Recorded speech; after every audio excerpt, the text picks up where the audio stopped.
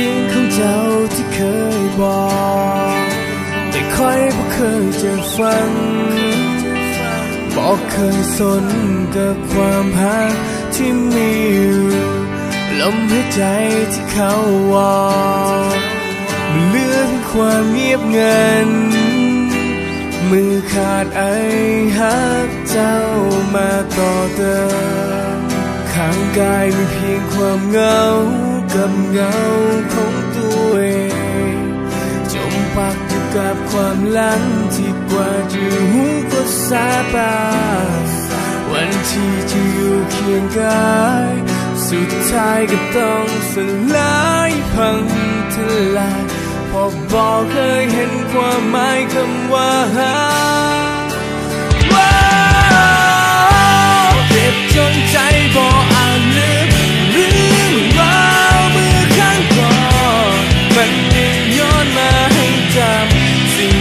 ง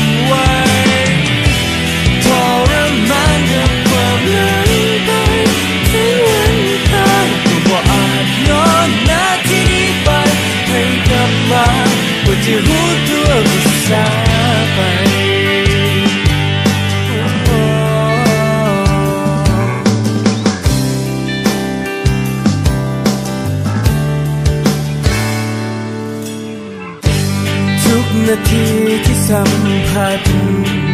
ความฮักจะสั่งอุ่นใจ แต่บอกเคยจริงก็ได้แต่เขาขอเวลาเป็นเดือนหนึ่งให้เป็นอุ้มเขาคือกับเมื่อที่เราแต่งงานกันใหม่ๆแล้วเขาจะยอมเซ็นใบหย่าห้างนี้ให้ว่าย้อนคืนมาแล้วพออาจย้อนคืนวันให้เป็นเหมือนเดิมข้างกายด้วยเพียงความเหงากับเงา ความหลังที่กว่าอยู่หูก็สบานวันที่จะอยู่เคียงกายสุดท้ายก็ต้องสลายพังทลายพอบอกเคยเห็นความหมายคำว่า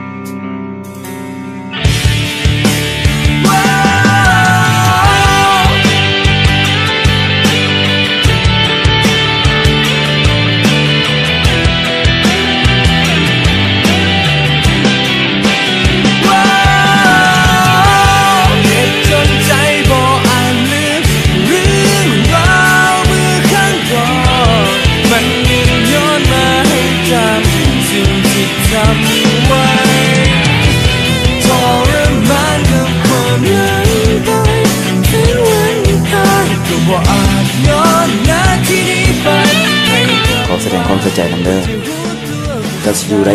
ไป